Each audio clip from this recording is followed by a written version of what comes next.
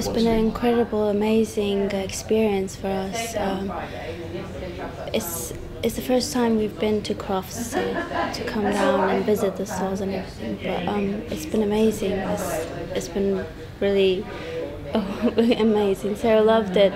She's happy and maybe a little bit tired, but we have fun to together. And it's the moment that we won't forget. It's been an amazing um, experience. One will, one that we'll never forget. It, we've um, met so many amazing um, other finalists with their amazing dogs, what they can do. It's been it's been really amazing experience to go through.